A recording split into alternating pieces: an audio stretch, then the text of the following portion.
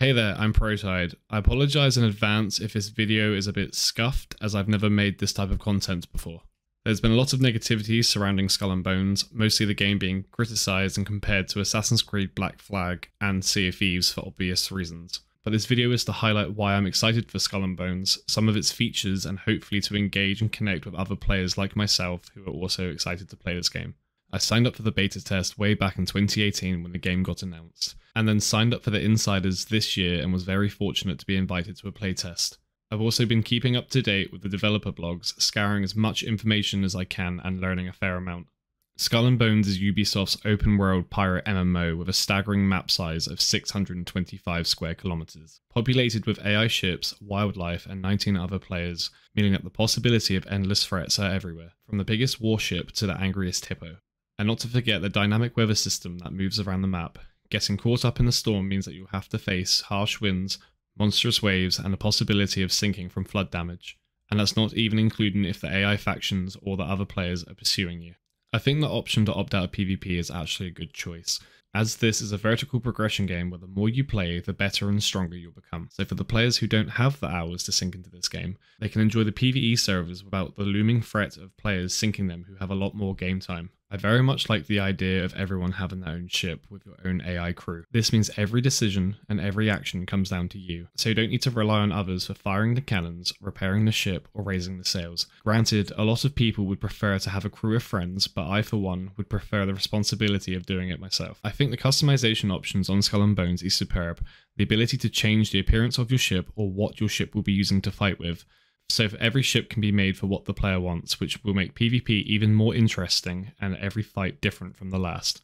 This doesn't even include furniture which can give you stat boost or stat boost for your allies around you. Because of this, it's going to create some fun ship builds. We can also change the clothing of our pirate, our sails, armor, weapons, and even have our own pirate lair, which is called the Helm. Speaking of weapons, Skull and Bones have given us a fun arsenal to play with.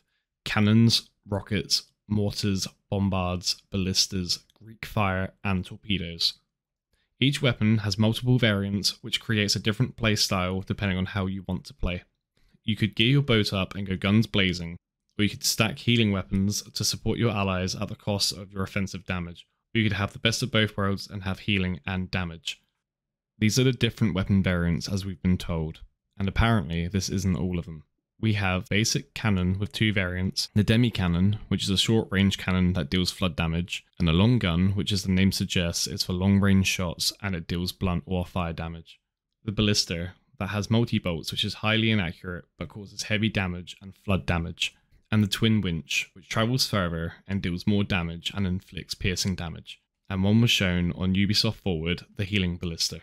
The mortar has the blasting mortar, which has an explosive radius and deals explosive damage. The siege mortar, which is stronger, has a smaller blast radius and deals crushing damage. And then the repair mortar, which heals ally ships. The bombards are essentially like the mortars. They have a siege bombard, a healing bombard, and a fire bombard. Rocket launchers, which have two different variants.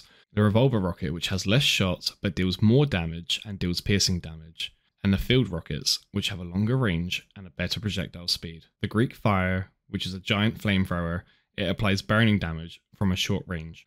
And finally, we have the torpedoes, the quick release, which causes flooding damage, and the explosive version, which causes explosive damage. Now we go on to the ships. We will have different classes of ships the navigation ship, the cargo ship, and the firepower ship. Each different size of ship has their own pros and cons. For example, the smaller ships are able to sail upriver, while the bigger, more stronger ones cannot. I like this due to the fact that if you're on a PvP server and a larger ship is en route to sink you, you can just sail upriver and be out of range. Skull and Bones have told us that we are getting 12 ships at launch. I've only managed to find 9 stat cards. All categories of ships have a small, medium, or large. The first category is navigation ships. I'm going to apologise for my pronunciations of some of these ships. The first ship is the Bedar, which has better defense at half sails and has an increased chance to break sails. The Ganjah, which has an improved front weapon damage and an improved ramming damage. And then the Brigantine, which has an improved repair kit duration and weapon repair. Next is the cargo ships. The Hulk, which has automatic harvesting and an improved harvest rate. The Snow, which has an improved brace efficiency and improved hull hit points. Apologies for the pronunciation. the Padewakang, which has an improved cargo capacity, more fire resistance, and takes less sail damage. Finally, the Firepower ships. The Sloop, which has a better brace efficiency, so takes less damage while bracing and has an increased broadside weapon damage. The Sambuk, which has an improved fire efficiency and deals more damage to burning ships. Finally, we have the Brig, which has improved defenses on the anchor and also deals more damage to other ships' anchors. I did find a picture of the Corvette, but unfortunately I couldn't find the stat card to go along with it. I am very excited and eager to play Skull and Bones on launch. I think there's a lot of fun to be had, either solo or with a group of friends. We've been told about dynamic events, the fact we can raid force, and hopefully more when Skull and Bones is released. But I'm looking forward to teaming up with my friends and my community members to have a blast.